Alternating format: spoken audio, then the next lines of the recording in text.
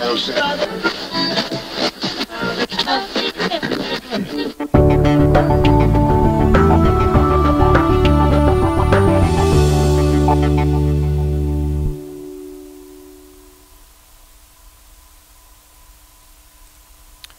there, thanks for joining us. Uh, this is Choose the Way, where we talk about anything and everything pertaining to life. However, we always try to find the best way and choose the best way to live. Uh, this is episode seven, and we're going to be talking about an interesting topic today. And that topic is going to be uh, the fourth part of our series, The Christmas Myth. And we're going to talk about this Emmanuel, which Matthew writes, uh, referencing the prophets Emmanuel, God with us. And we're going to talk about the myth that Jesus isn't really that unique. And there is really uh, a circulating amount of people that believe that Jesus' birth and who he was uh, does not make him that unique and definitely doesn't make him God or someone worth worshiping. However, when you start to look at the scriptures, uh, you start to get a different picture. And so I wanted to talk to you about, I want to kind of put to rest the myth that Jesus really isn't that unique. Because there are people out there that say that there are other gods and other um, stories in history that say similar things about their gods that are similar about Jesus. For instance, even the virgin birth. There are some stories out there that try to uh, report that um, there was virgin birth involved in these certain people, like Horus, um, Zoroaster, uh, the Buddha. And people try to say that yes, their birth was virgin. Um, however, uh, when you go back and you look at the history of that and you look at the actual stories of that, you see that there was no miraculous virgin birth involved. But greater yet, I want you to take a look at this, and that is just the scriptures today. I just want to show you the uniqueness of who Jesus is in the scriptures. And so I want to take you back all the way to the beginning in the Hebrew text of Genesis chapter 1, verses 1 through 26. You see here on this text that I have. Um, uh, kind of taken the verses and I've kind of manipulated them so I can put it on one space. Um, but if you go back and read verses 1 through 26, you'll see the entire creation story. And then when you move to the very end of that creation story, you see that God said, Let us make man in our image according to our likeness. Now, if you go back to there, you'll see that some scholars believe that when it says, Let us make man in our image, that that's speaking of the Trinity, the Father, the Son, and the Holy Spirit. But then you'll find other scholars who will say, well, it's very possible that God was actually speaking to his spiritual and angelic realm of creation. Uh, what some scholars have called, you can go and you can research Michael Heiser, who has done a lot of work on this uh, in his book, The Unseen Realm. Uh, but the idea is that in Psalm 82 and Deuteronomy chapter 32, that God has a council of spirit beings that he consults and talks with. Now, that doesn't mean that God uh, listens to them or does what they tell him to do, but it's possible that in Genesis chapter 1 that God was speaking to that uh, spiritual council when he said, Let us make man in our image. Now, even though he may have been counseling and talking with this council, it is true, though, according to the scriptures, that God is the one who did the creating, not the angelic realm, but God is the one who turned then and created mankind in his image and his likeness. So if you go back to that text, you'll see here that God created everything uh, day after day, and then on the sixth day, he said, Hey, let us create mankind in our image according to our likeness. Now, if you go to the New Testament, then, you'll see that John writes this in John chapter 1, verses 1 through 5. John says, In the beginning was the Word. Now, in, if you're reading John 1, uh, verse 1, you don't know what the Word is just yet, but we'll, we'll come to that in just a second. The Word was with God, and the Word was God. So, whatever the Word is, it was with God, and the Word was God. So now you can interchange Word for God, because God is the Word. It goes on to say, He was in the beginning with God. So now you have this strange, mysterious idea that the Word is God, but the Word is also with God. And that's where you get that kind of strange idea of the mystery of the Trinity the Father, the Son, and the Spirit, one essence, but three distinct persons. So he's in the beginning, all things, verse 3, all things came into being through him, and apart from him, nothing came into being that has come into being.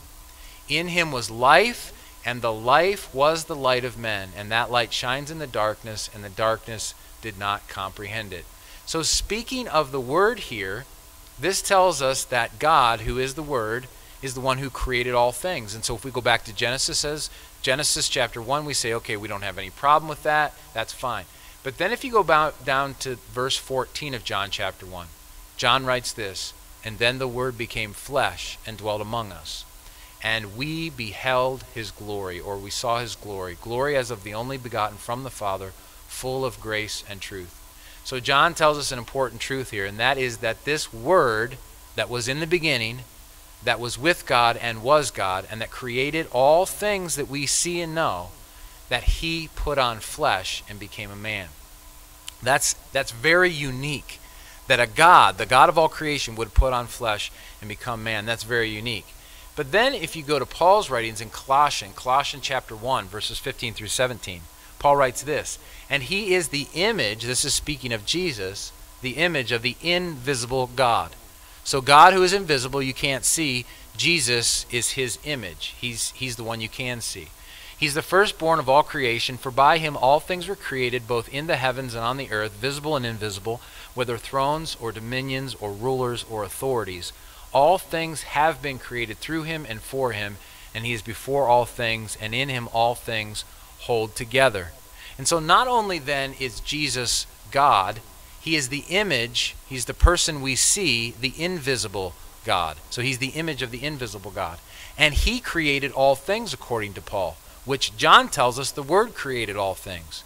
And then, if you go back to the beginning in Genesis, it says God was the creator of all things. So now we start to put the pieces together and we see that Jesus, who came and put on flesh, is God in the flesh.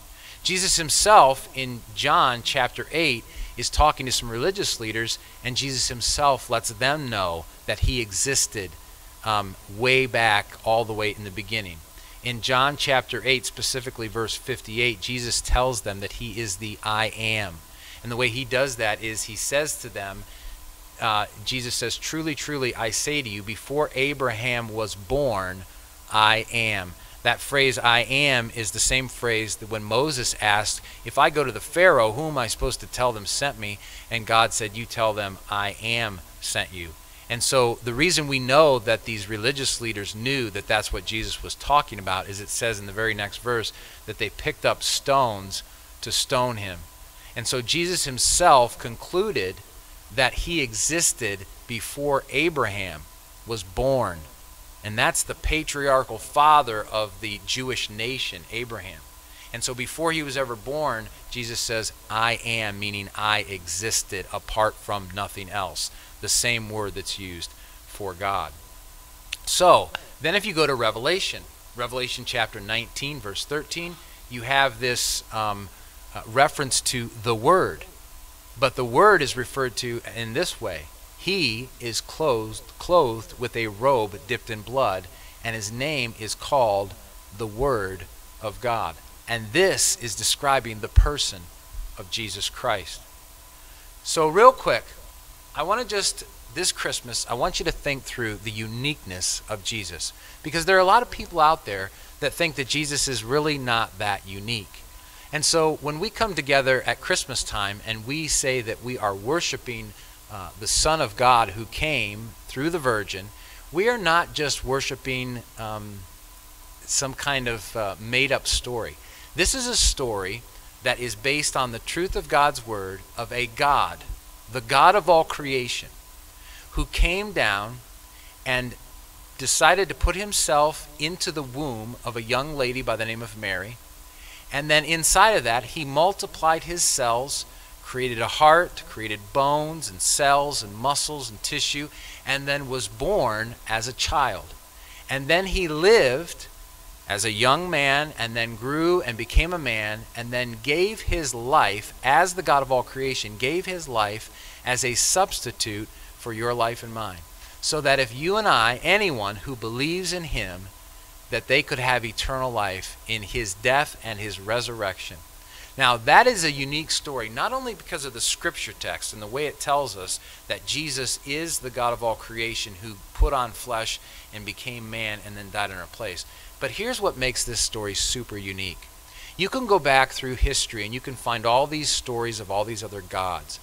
And people can try to bring connections and comparisons that maybe they were born on the same day or the same time Jesus was, or maybe they had a virgin birth. And trust me, it's out there. People are trying to uh, help uh, or get other people to understand or believe that some of these other stories are similar to the Jesus story and that Jesus is not that unique. So you can go back there and you can look at all those other historical stories of all these other gods and all these other people. I mean, it's we're talking Buddha, Zoroaster. They all have stories about that, possibly that that they're just as unique as Jesus. But when you go back and look at all those stories, I can tell you right now, if I sit down and have a time to talk with you, we can debunk all of that because none of those things, most of those things that people try to report that are similar to Jesus' birth and who Jesus was, are just not in the historical record. But that's that would be for a whole another day. But here's one of the things I want you to think about when it comes to the uniqueness of Jesus, and it's this: there is no God in history that came down to a sinful and wretched people. There is no history of a God who became flesh, dwelled among a wretched and sinful people, and then allowed those people to crucify him, and then took up his life again for this purpose. Listen, for this purpose, that he might save those who trust in him. There is no story of a God like that. That is one of the reasons why Jesus is so unique and his story is so unique. So don't ever believe the myth that Jesus is not really that unique because the entire story from Genesis all the way to Revelation concerning Jesus is that he is the unique God of all creation who put on flesh and gave his life and then raised his life up again so that anyone who trusts in him can have eternal life. That's the Christmas story. That's the truth of a God who loves you and I hope you remember that. So you have a great Christmas this year, and um, we'll see you next time.